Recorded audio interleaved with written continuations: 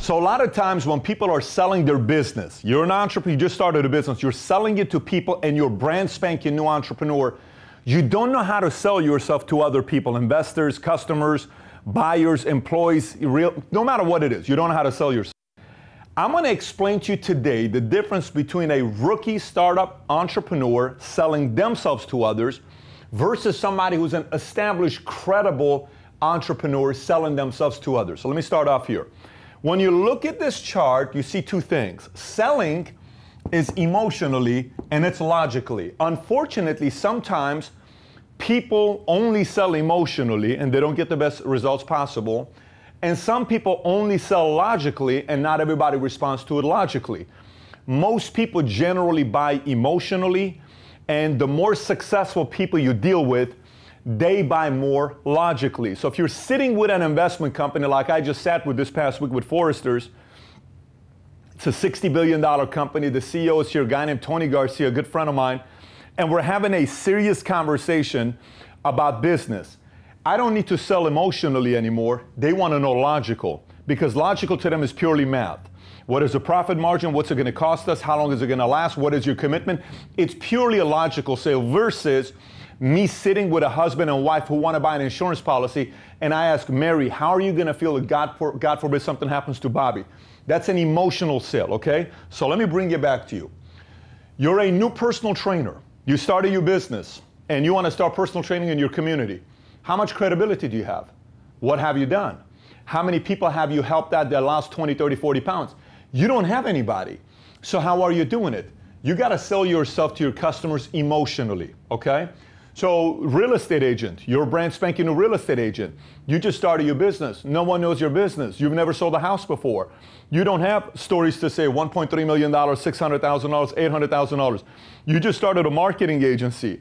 You don't have any kind of a credibility. What do you do? You got to sell emotionally. Here's what we're going to be doing. So, emotional selling is using words such as what if, imagine, possibilities, here's where we're going. Here's where our vision is. Here's what our mission is. This is what we're planning on doing.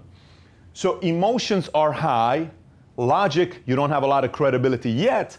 What you can use here, you don't have credibility from your career, but you can use credibility for your industry, such as our current industry has dot, dot, dot, dot, dot demand.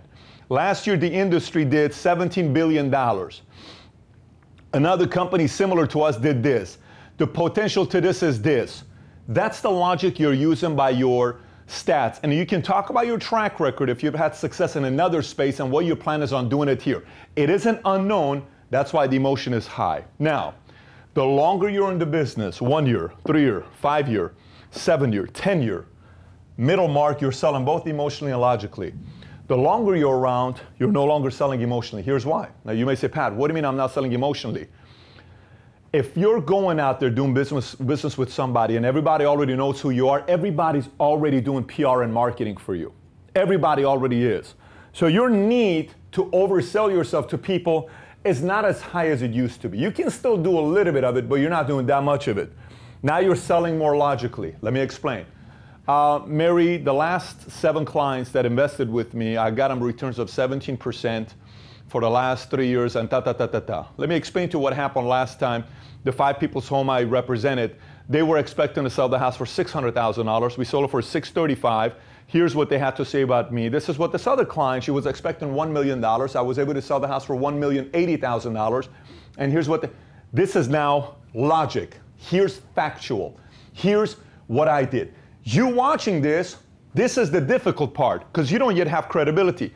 Your goal is to get to a point where you have credibility and eventually to a point where you have a reputation. Everybody knows what it means when they do business with you because at that point the sale becomes so easy. So you don't have to worry about overselling yourself anymore.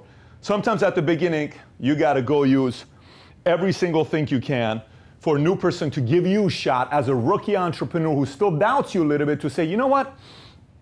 I'll give this, I'll give this person a shot. And the more you take care of them and you treat them very well and they tell everybody and they tell other people and next thing you know your clientele is going higher and then business becomes a lot easier. So I hope that makes sense to you the difference between selling emotionally and logically on your timeline of how long you've been in the business and how to position yourself in a way to increase the chances of you selling. With that being said, if you got any questions, thoughts, comments about today's episode, comment on the bottom. And if you have not subscribed to this channel, click on the subscribe button and the notification button right next to it to be one of the first to get the videos when they come out. Take care, everybody. Bye bye.